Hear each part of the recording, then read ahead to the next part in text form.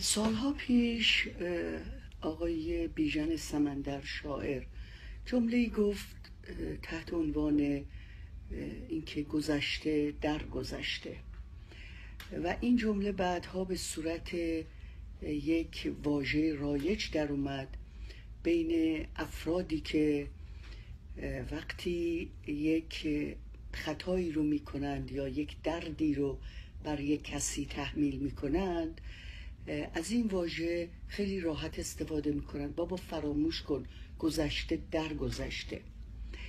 این جمله درست هست ولی یه پیچ بسیار حساسی داره که اگر به اون توجه نکنیم قسمت معنای درستش هم تبدیل به نادرست میشه.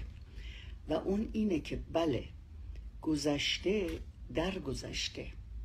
اما تا زمانی که آن گذشته درناک یا اون درد ناشی از رخدادی در گذشته تکرار نشه.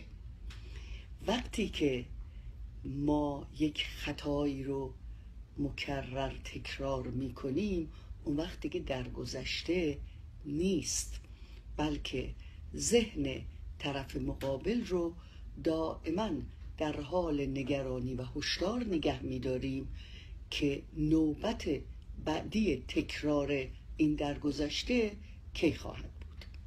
بنابراین اگر انتظار داریم یاری عزیزی دوستی کسی شما رو به خاطر خطایی که در گذشته کردید ببخشه و معنی واقعی گذشته در گذشته رو درونی کنه وقتی هست که شما مطمئن باشید که اون پدیده رو تکرار نخواهید